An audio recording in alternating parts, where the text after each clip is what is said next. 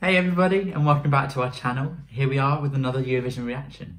Yeah, today we're looking at the six entries taking part in Finland's UMK to represent them at the Eurovision in Rotterdam. Let's take a look at what they've got to offer. Is Zühlke back again after finishing with Perfect Villain runner-up a couple years ago? I didn't like a previous song and to be honest I'm not a massive fan of this. I like Perfect, Perfect Villain. I think for this I'm not a huge fan of songs that go from ballads into upbeat. Sounds a bit cheap. I don't mind that. But I don't like the way she says eternity.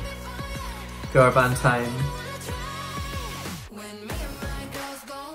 I like the beat of this.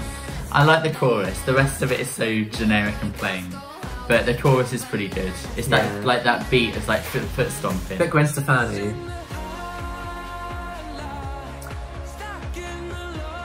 This feels in that sort of no man's land of mid-tempo male song that it's neither here nor there. Yeah, I'm not sure about it to be honest. It doesn't really do anything for me. Yeah. Talking about songs that don't do anything for me. This one as well. I just find it it's very flat. The whole song is exactly this. It doesn't go I anywhere. quite like doesn't, it. it doesn't I build or anything. It just it's I like that. a constant. chilled. Not on a. Eurovision stage. I, oh, oh, talking about taking us there. That love her voice. Yeah. Great performance. It reminds me a little bit of The Silence by Alexandra Burke and uh, the structure. I mean, it's classic Bond.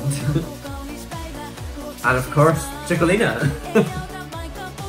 this is quite a choice. I think, to be honest, Finland probably should send this. It would stand out. I don't know how well it would do, but Absolutely, you've got to make an impression. So it It's certainly does that. surprisingly impressive. Yeah. So there we have it. The six songs competing for Finland this year. Who was your favourite? Um, I've got to say, I did enjoy Tika's and Sansa's, but I think it's got to be Erika. I think it really stands out, and I think you need to stand out and make an impression.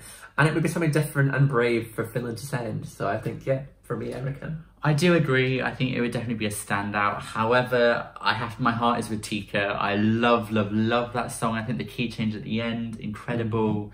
Um, and I feel like if she can pull that vocal off live, it could be a real moment. Maybe like Dami Im Sound of Silence. So um, yeah, but as I don't mind Erika either, to be honest. So Yeah. there we go. Well, that's what we think. Let us know what you think in the comments below. And don't forget, if you like the video, give us a like and a subscribe. Cheers for watching. Cheers.